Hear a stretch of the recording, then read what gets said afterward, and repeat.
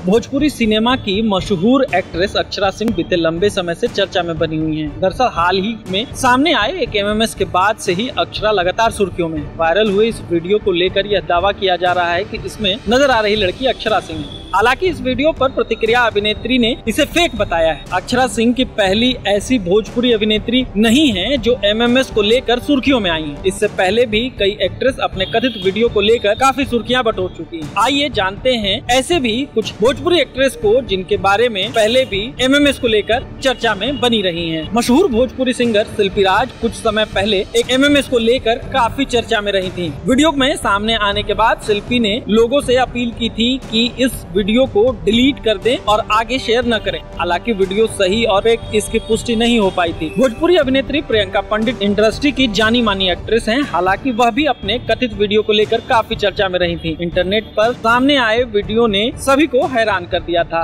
बाद में इस मामले में एक्ट्रेस लंबे समय तक सुर्खियों में बनी हुई थी। भोजपुरी अभिनेत्री संभावना से टीवी जगत की भी जानी मानी अभिनेत्री है। मशहूर रियलिटी शो बिग बॉस में नज़र आ चुकी है। संभावना भी एमएमएस कांड की शिकार हो चुकी है। दरअसल एक्ट्रेस एक निजी वीडियो इंटरनेट पर सामने आया था, जिसमें वह राजा चौधरी को किस करती हुई नज़र आ रही थी। भोजपुरी इंडस्ट्री की एक और मशहूर एक्ट्रेस पूनम दुबे, भी वायरल एमएमएस को लेकर चर्चा में रही थी। सोशल मीडिया पर वायरल वीडियो को लेकर दावा किया जा रहा था, इसमें नज़र आ रही लड़की पूनम दुबे है। हालाँकि, अभिनेत्री इस दावे को खारिज करते हुए वीडियो को फेक बताया था। सोशल मीडिया पर काफ़ी एक्टिव रहने वाली भोजपुरी एक्ट्रेस त्रिशाकर मधु अक्सर अपने फ़ैन के लिए तस्वीरों और वीडियो शेयर करती रहती हैं, लेकिन इंटरनेट पर सामने आए उनके एमएमएस ने सभी को हैरान कर दिया था। वायरल हुए एक वीडियो में एक्ट्रेस अपने बॉयफ्रेंड के संग नज़र आ रही थी। आपको ये वीडियो कैसी लगी? हमें कमेंट सेक्शन में जाकर ज़रूर बताएँ। ज़्यादा से ज़्यादा शेयर करें लाइक करें सब्सक्राइब करें। बने रहें महाखबर के साथ।